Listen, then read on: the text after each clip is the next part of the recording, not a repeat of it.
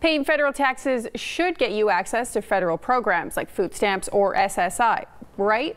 What if it didn't? Our Joe St. George explains how the debate over fairness is taking center stage at the Supreme Court this week and how one case over a few thousand dollars could change policies for millions.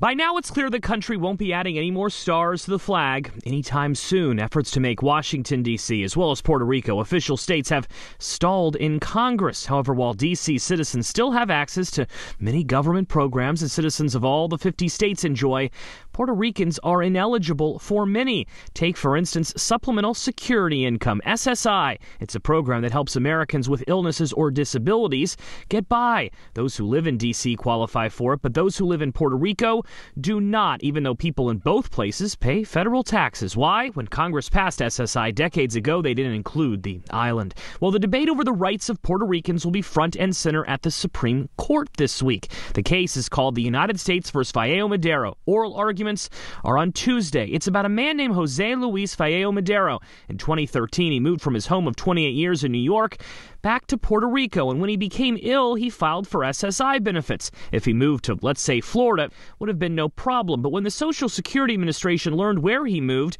they cut him off from the program and demanded he pay back $28,000 worth of benefits he'd already received. The Biden administration is split on this issue. The president has issued statements calling for Puerto Ricans to be covered by government programs. There can be no second class citizens, he said. But President Biden's Justice Department has done the opposite, actually arguing against Puerto Ricans in court.